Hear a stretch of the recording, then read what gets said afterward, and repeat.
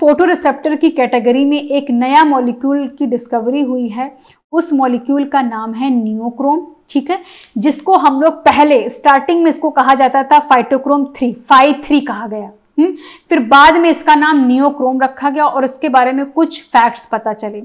तो पहले तो ये देखा गया कि एक फर्न होता है एडियंटम एडियंटम में ये इसको खोजा गया। तो एडियंटम में क्या देखा गया कि एक ऐसा फ़ोटो रिसेप्टर है जो कि ड्यूएल कैरेक्टर शो करता है। वो ड्यूएल कैरेक्टर क्या है कि रेड लाइट और ब्लू लाइट सेंसिंग उसके पास फ़ोटो रिसेप्टर्स पाए जाते हैं। मतलब कहने का कि रेड लाइट फाइटोक्रोम में जो फ़ोटो रिसेप्टर्स पाए जाते हैं, लाइट हार्वेस्टिंग कॉम्प्लेक्स जो पाए जाते हैं या जो लाइट को परसीव करते हैं, वो भी पाया गया।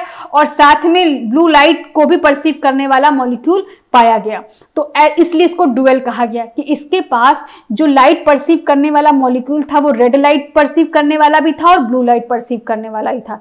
इसीलिए इसका नियोक्रोम नाम रखा गया, एक नाम नया दिया गया neochrome comprising red light absorbing phytochrome photosensory domain क्या देखा गया कि रेड लाइट को परसीव करने वाला फाइटोक्रोम का जो डोमेन होता है एन टर्मिनल डोमेन ठीक है? फाइटोक्रोम का जो एन टर्मिनल फोटोसेंसरी डोमेन है, वो वो क्या करता है?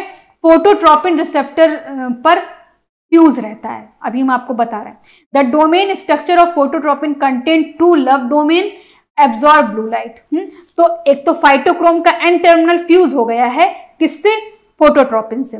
तो एक तो रेड लाइट एब्जॉर्व करने वाला भी मॉलिक्यूल हो गया। दूसरा लव डोमेन क्या कर रहे हैं? वो ब्लू लाइट को परसीव कर रहे हैं। लेफ़्ट डोमेन के पास क्योंकि एफ़ है तो दो तरह का डुअलिटी शो करते हैं। हम्म, मतलब दोनों लाइट को परसीव कर सकते हैं। एट द सी टर्मिनल पे सी टर्मिनल पे क्या देखा गया? सीरीन थ्रियोनिन काइनेज डोमेन पाया जाता है।